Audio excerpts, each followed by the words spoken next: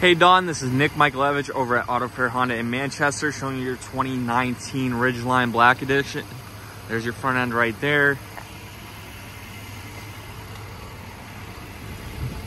Let's look at the side. The black wheels. Got the step right here, which is great.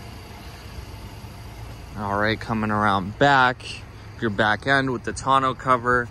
So it opens two ways. It opens up the regular way also opens up like a door down here, which is pretty cool.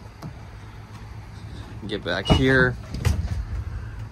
Some space back here with some drain plugs as well as your spare kit right there. Close that up. Right. All right, this car has keyless entry, so you can unlock simply by touching right there when the car is locked. Lock it back up by pressing the button on the door handle. Got some nice red perforated leather in here. Similar accent on the center console right there. Center console is huge. There's also this removable tray you can take out. You don't like it there.